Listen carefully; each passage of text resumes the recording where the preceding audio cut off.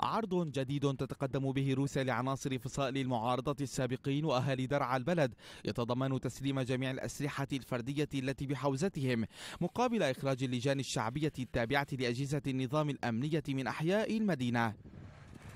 جاء ذلك في رسالة وصلت من ضابط روسي إلى لجنة درعا البلد التي تفاوض النظام روسيا في ملفات تخص المنطقة منذ عقد اتفاق التسوية في تموز 2018 الروس عرضوا مقابل السلاح الفردي الذي بحوزة شبان المنطقة إخراج اللجان الشعبية التابعة لأجهزة النظام الأمنية من مواقعها في أحياء المنشية وسجنة وجمرك درعا القديم وسحب سلاح تلك اللجان أيضا.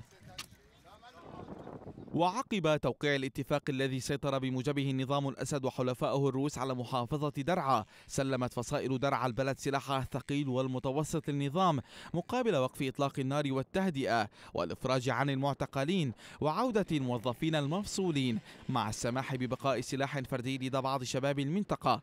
ومنذ ذلك الحين تعيش المحافظة فوضى وتوترات أمنية ارتفعت وتيرتها مؤخرا بشكل لافت تتمثل بعمليات خطف وتفجيرات واغتيالات اغتيالات يتهم الأهالي نظام الأسد بالوقوف وراءها وبعدم الالتزام ببنود التسوية. فهل ما تزال محافظة درعا قنبلة موقوتة جنوبية سوريا؟